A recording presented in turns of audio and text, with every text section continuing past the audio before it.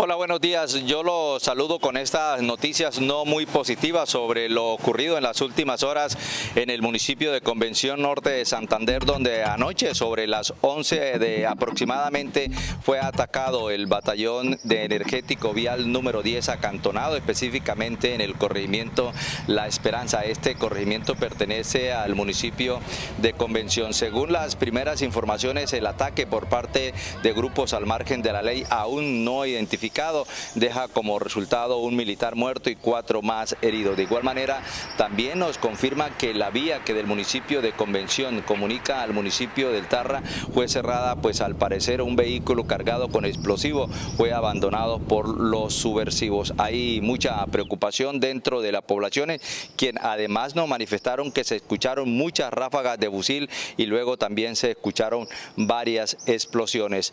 En este lugar de norte de Santa Santander opera el LN y también hace presencia el EPL. Pues con estas noticias me despido y estaremos muy pendiente del desarrollo de estos hechos lamentables que se registran en la región de El Catatumbo.